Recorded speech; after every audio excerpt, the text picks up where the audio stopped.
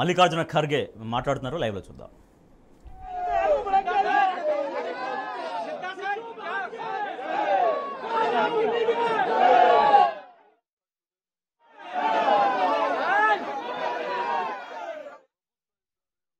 ಅದನ್ನ ಇದರಲ್ಲಿ ಗೊತ್ತಾಗ್ತದೆ ಮತ್ತು ಇಂಥ ಚುನಾವಣೆಯಲ್ಲಿ ಪ್ರಧಾನಮಂತ್ರಿಗಳು ಹೋಮ್ ಮಿನಿಸ್ಟರ್ಗಳು ಡಜನ್ ಗಂಟಲೆ ಸೆಂಟ್ರಲ್ ಮಿನಿಸ್ಟರ್ಸು ಅಕ್ಕಪಕ್ಕದ ಚೀಫ್ ಮಿನಿಸ್ಟರ್ಸು ಇವರೆಲ್ಲರೂ ಕೂಡ ಬಂದು ಇಲ್ಲಿ ಕ್ಯಾಂಪ್ ಹಾಕಿ ಮೆನ್ ಪವರ್, ಆಮೇಲೆ ಮಟೀರಿಯಲ್, ಮಸಲ್ ಪವರ್ ಎಲ್ಲ ಅವರು ತಮಗೇನು ಬೇಕು ಅದು ಯೂಸ್ ಮಾಡಿದ್ರು.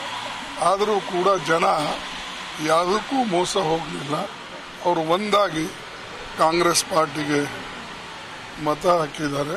ಅದಕ್ಕೆ ನಾ ಎಲ್ಲ ಅಭ್ಯರ್ಥಿಗಳಿಗೆ ಗೆದ್ದಂಥ ಅಭ್ಯರ್ಥಿಗಳಿಗೂ ಕೂಡ ನಾನು ಈ ಸಂದರ್ಭದಲ್ಲಿ ಅವರಿಗೆ ಅಭಿನಂದಿಸ್ತೇನೆ ಮತ್ತು ಯಾರು ಸೋತಿದ್ದಾರೆ ಡೆಮಾಕ್ರಸಿಯಲ್ಲಿ ಸೋಲು ಗೆಲುವು ಇರ್ತದೆ ಅವರಿಗೂ ಕೂಡ ನಾನು ಮುಂದೆ ಅವರ ಪ್ರಯತ್ನಗಳಿರಬೇಕು ಒಳ್ಳೆಯ ಕೆಲಸ ಮಾಡಬೇಕು ಮತ್ತು ಜನರ ಸಮಸ್ಯೆಗೆ ಸ್ಪಂದನೆ ಮಾಡ್ತಕ್ಕಂಥ ಕೆಲಸ ಮಾಡಿದ್ರೆ ಅವ್ರಿಗೆ ಗೆಲುವು ಆಗ್ತದೆ ಅಂತಕ್ಕಂಥದ್ದು ನಿಮ್ಮ ಒಂದು ಕಾಲದಲ್ಲಿ ಒಂದು ಕಾಂಗ್ರೆಸ್